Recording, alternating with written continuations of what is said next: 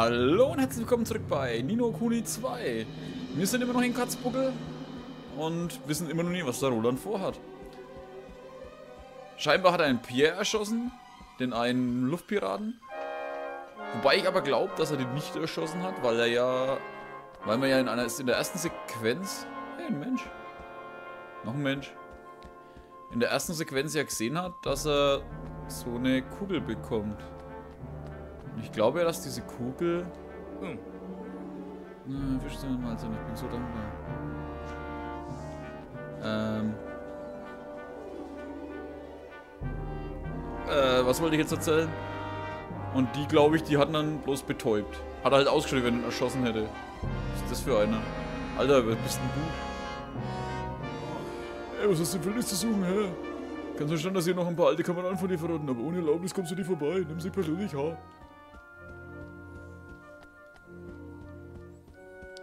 So, was ist jetzt hier? Wer zur Hölle bist du? Ja. Ah, wenn das nicht Roland ist, du sollst ja ziemlich aktiv sein, für das dass du noch gar nicht lange hier bist. Was führt dich zu mir? Hm. Das sollte ich dir mitteilen. Eine Änderung der Sitzungszeit, also gut zu wissen. Hm. Und da ist noch etwas. Eine dringende Änderung, was die heutige Wachposition im Schloss betrifft. Alle Wachen des West- und Ostflügels sollen heute Nacht zu den Außenposten stoßen. Mhm. Oh, die Überwachung des Außenbereichs in der Nacht stärkt werden. Keine Ahnung warum, aber es wird schon noch eine Gründe haben. Ah. Bitte informiere die eingeteilten Wachen darüber. Hi. Selbstredend, auf mich kannst du dich verlassen.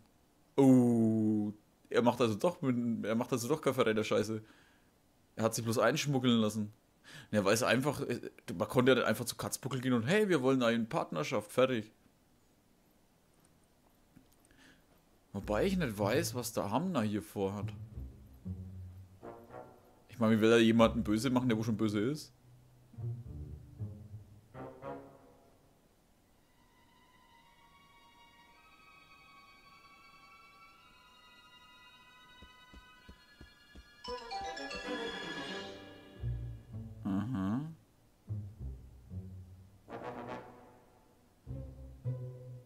Alter, sag doch endlich mal, was du vorhast, Junge. Sehr gut, niemand hier.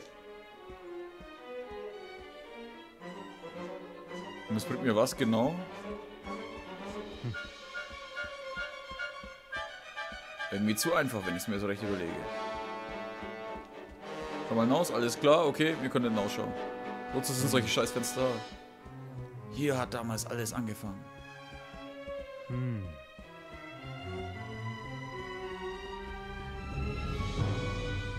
Ach, in König sei Turmzimmer, äh, in Ivan sei Turmzimmer. Ah, verdammt. Ot. Es ist verschlossen, wie ich erwartet hatte. Dann ist wohl Zeit für meinen kleinen Kameraden hier. Knarre. Hä? Was zur Hölle bist denn du?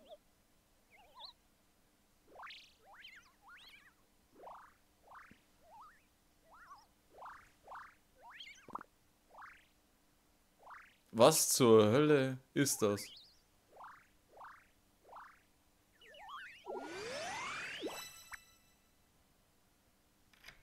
WTF?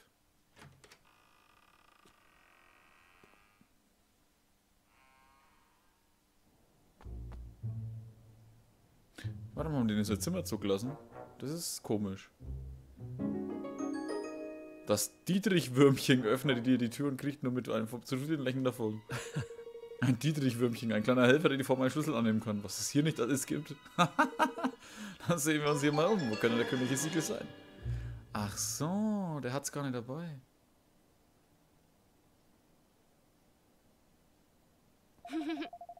Das Schiff ist bald fertig. Eine neue Reise, ein neues Abenteuer. Bin gespannt, was uns erwartet. Ah. Ja, als nächstes steht uns das Abkommen mit Quastenfloss an. Aber wir sollten auch darüber hinaus unsere Schritte bereits planen. Besonders was unsere spezielle Freundin in Katzbuckel betrifft. Mm. Es wird immer noch streng bewacht. An den Grenzen sind überall Wachen auf Patrouille. Mm.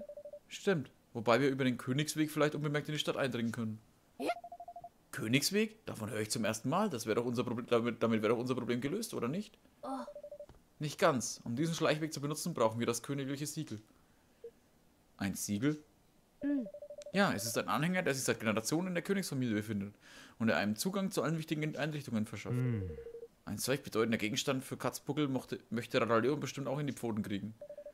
Nach Vaters Tod habe ich es geerbt, aber du hast es nicht hier. Oi. Und wo ist dieses Siegeldings? In einem Geheimraum in meinem Zimmer in Katzbuckel. Im Notfall hätte ich jetzt dort Schutz suchen und falls nötig mit dem Siegel fliehen sollen. Also hast du es dort vergessen.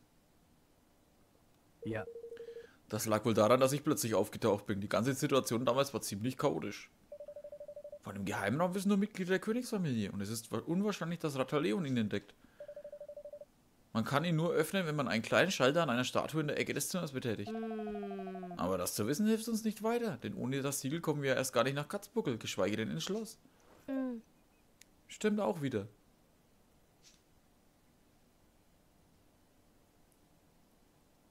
Ah, da hat er dann den Plan gefasst, dass er sich einschmuggeln muss. Ein Schalter an der Statue in der Ecke, meinte Ivan.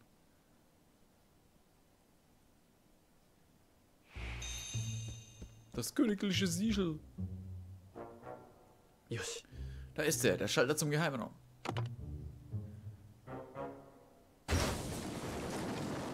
Im Geheimraum, das ganze scheiß Bett bewegt sich. Und wieder so ein filmreicher Mechanismus. Mechanismus. Wenn es um geheime Türen geht, lassen sie sich hier nicht lumpen.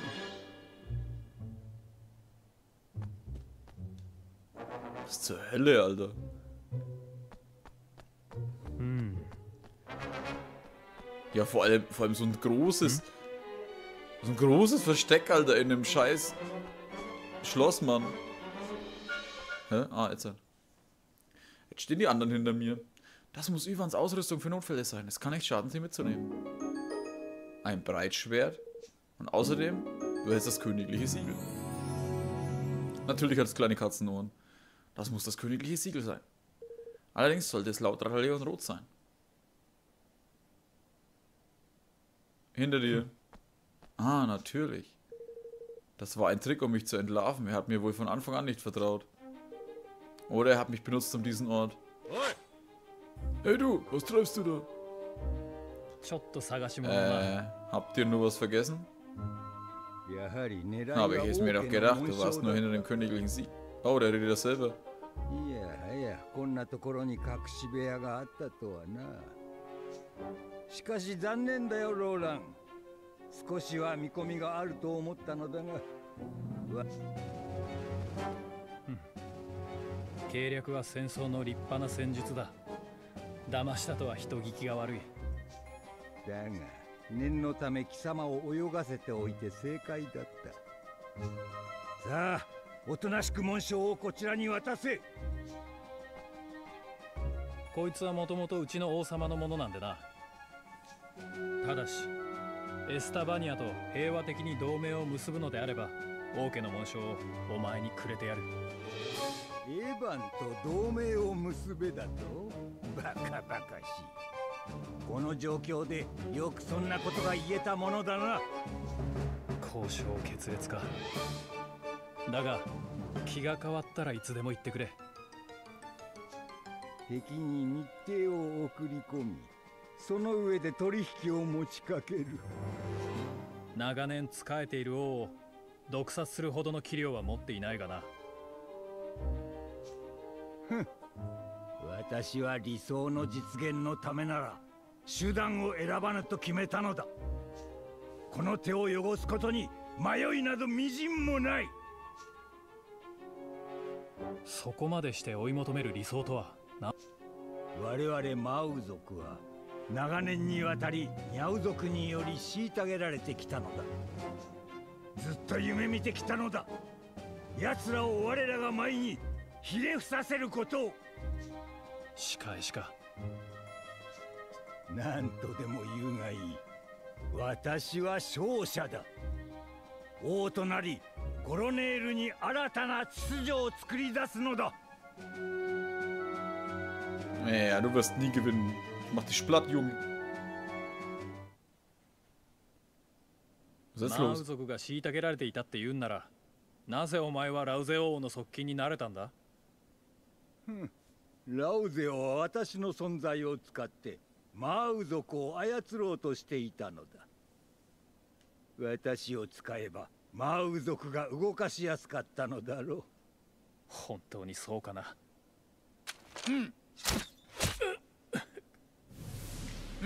Hä? いつまでこいつを喋らせておくのです。逃げられる前に殺しましょう。うん。そうだな。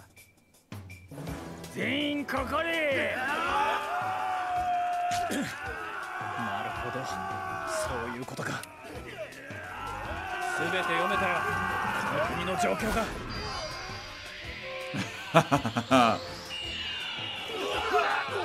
Geil.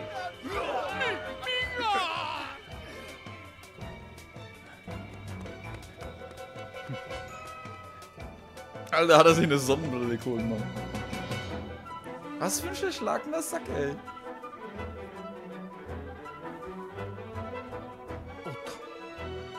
Sollte mich schleunigst aus dem Staub machen, aber vorher gibt es noch etwas zu erledigen. Pff, ja klar, ignoriere die Wunde in deinem Arm. EP, alter Freunde, da ist nur einer.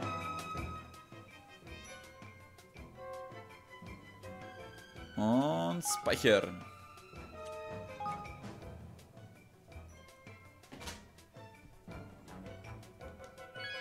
Jetzt bin ich mal gespannt. Auf jeden Fall wissen wir ja, dass er kein Verräter ist.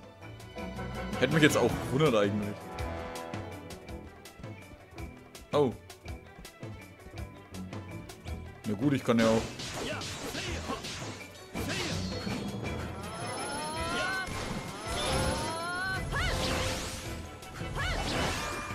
Ach so, ja.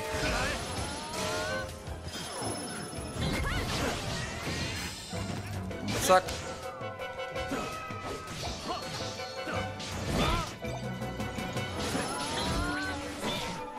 Alter. Oh, der lebt da noch.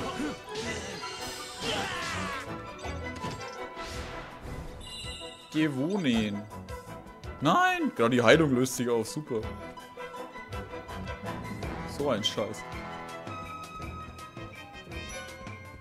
Jetzt kommt dann eh wieder der schwarze Ritter. Also warte, warte, warte, warte, warte. Ich hab doch da was Geiles bekommen. Rächer. Breitschwert. Oh, boah, Alter. Warte, warte, warte. Rächer dahin. Uhuhu.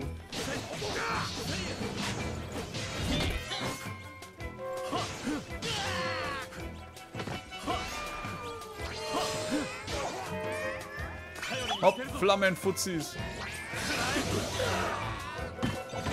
Boah, was zur Hölle?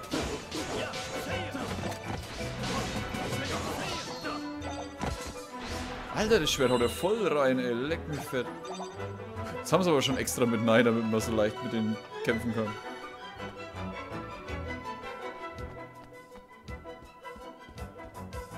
So, erst muss der Magier weg.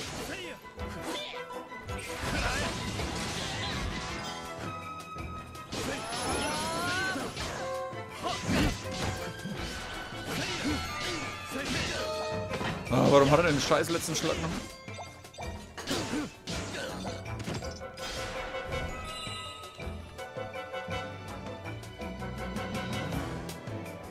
So. Ja, dahinter muss ich ja nicht. Achso, ja, ich muss ja erst den Pierre holen.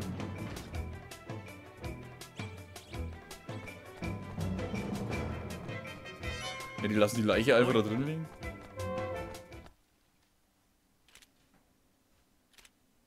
さて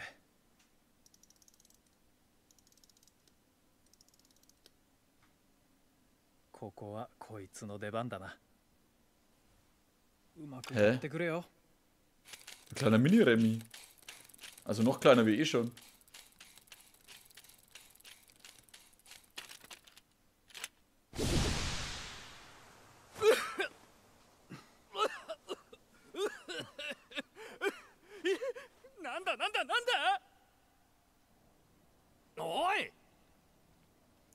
Mörder.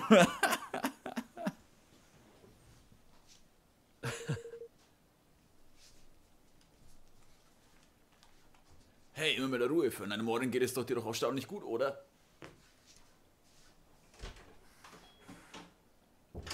Oh. Äh, stimmt auch wieder.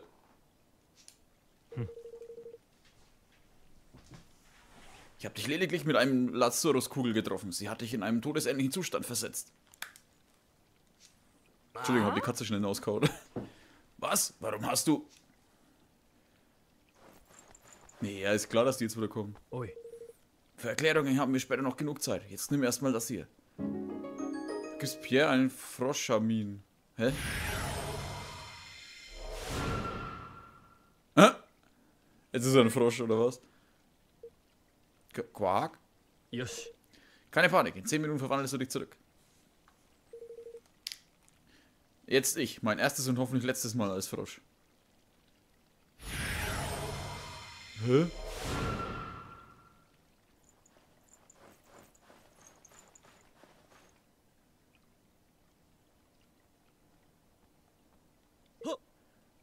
Hier ist er auch nicht. Roland, dieser Halunke. Er ist ein blauer Frosch.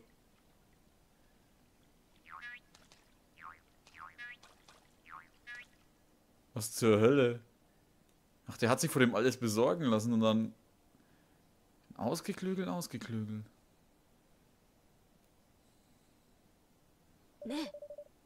Cecilius, meinst du nicht, dass es langsam Zeit wird, dass du uns die Wahrheit sagst? Ihr habt es also gemerkt? Ja, hätte Roland wirklich vorgehabt, uns zu verraten, hätte er sich doch nicht doch um einiges geschickter angestellt. Er hat sich viel zu leichtfertig verhalten. Wohl wahr. Es war re recht leicht zu durchschauen, was? ah? Moment mal, was soll das heißen? Eine Täuschung ist auch nur gut, wenn sie selbst einen Freund überzeugt. Rolands Verrat war nur gespielt, nichts davon entspricht der Wahrheit. Was? Das war jetzt Teil eines Plans? Eh. So ist es. Nach unserer Rücksprache aus Mechbaum habe ich überall im Schloss Kontrollaugen bemerkt. Damit kann man auf magische Weise einen bestimmten Ort aus der Ferne beobachten. Königin Raiders Augenzauber funktioniert ähnlich, deswegen sind sie mir sofort aufgefallen. Ich habe Rolands Informationen bei unseren Nachforschungen konnten wir einen Spion aus Katzbuckel ausfindig machen. Es war Rolands Idee, die Kontrollaugen nicht zu zerstören und sie stattdessen zu unserem Vorteil zu nutzen. Damit der Spion davon erfährt, haben wir im Blickfeld der Augen vorgegeben, dass Roland seine Freunde verrät. Es war auch Teil des Plans, dass einer von uns ihn dabei entdeckt. Unser Treffpunkt lag nicht zufällig auf der Route der Nachtwache. Und der, ach Gott, dann war das ganze Cecilius, der Sack. Und der Rest ist euch bereits bekannt. Es kam zur Eskalation und Roland wurde des Landes verwiesen. Wir haben gehofft, dass der Spion über, über die Kontrollaugen alles mitbekommt und ihm folgt. Geil. Hi. Übrigens, Zoran, der verdächtige Kerl in der Robe, den du gesehen hast, war ich selbst. Deine Überreaktion darauf war erhofft und ein überaus wichtiger Teil unseres Plans. Wie bitte? Ihr habt mich betrogen und ausgenutzt. Hey, so ist es. Wie er sich doch freut darüber. Aber tief in deinem Herzen hast du doch stets an Rolands Loyalität geglaubt. Habe ich nicht recht? Mir kannst du nichts vormachen. Ich weiß, dass du deine Crew mit der Suche nach ihm beauftragt hast. Ähm. hey, Shanti, was schaust du so? Also befindet sich Roland gerade in einer geheimen Mission in Katzbuckel? Aber was will er dort allein erreichen? Yes. Lass es mich dir erklären. Oh. Roland. Geil. Ach, war das jetzt cool. Aber dass da Cecilius mit drin steckt, dachte ich nicht. Ah. Ihr hattet reichlich Ärger, meinetwegen, was? Mhm. Ich, mir, ich habe mir Sorgen gemacht, aber ich bin heilfroh, dass du wieder zurück bist. Ui. Das war eine gefährliche Mission, Mann. Sie hat uns alles erzählt. Bist ein bisschen enttäuscht, dass ich nicht mitmachen durfte. Ja. Ich musste mich für dieses Täuschen Täuschungsmanöver bei euch entschuldigen. Es tut mir wirklich leid. ha, das war großes Schauspiel. Wir sind dir echt auf den Leim gegangen. Aber echt, das verzeih ich dir nie. Aber trotzdem war nicht geglaubt und auf dich gewartet. Ah, Anno. Waren die Hilfsmittel für die Infiltrierung von Nutzen? Ah. Sehr sogar. Ich konnte viele wertvolle Informationen sammeln. Die Einblicke in das Leben eines Frosch waren besonders beeindruckend. Ivan, das hier war das Ziel dieser Mission. Ich möchte, dass du das an dich nimmst. Das königliche Siegel. Das königliche Siegel. Na, können wir den Königsweg benutzen und uns problemlos nach Katzbuckel einschleichen, oder? Wie erwartet, war Rataleon auch hinter dem Siegel her. Es ist sehr gut möglich, dass es ein wichtiges Werkzeug bei unserer Verhandlung mit Katzbuckel sein wird. Danke, Roland. Jetzt können wir endlich nach Katzbuckel. Zurück in meine Heimat. Zum ersten Mal, seit Rataleon sie an sich gerissen hat. エヴァンはいよいよチューダインの治めるボロネールとの同盟締結に挑む複雑な胸中だが今こそ母国と向かい合わなければならない二の国の統一そして世界平和を実現させるために Da bin ich gespannt, wie das rausläuft. Wahrscheinlich bescheißt dann der Kanzler, den Rataleon. チューダインと父上は結局憎み合ってたのかな長く一緒にいても距離が縮まらないことだってあるんだ二人を取り巻く状況がそれを許さなかった父上はチューダインを種族の違いで憎んだり虐げたりなんかしないと思うんだけど。なのになぜチューダインは？恐れていたんじゃないかな。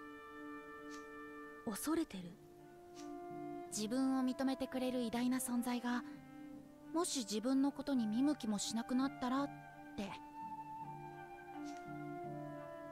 本当に好きな人に嫌われることは怖いものだろまあ詳しいことは僕にもわからないよそうだね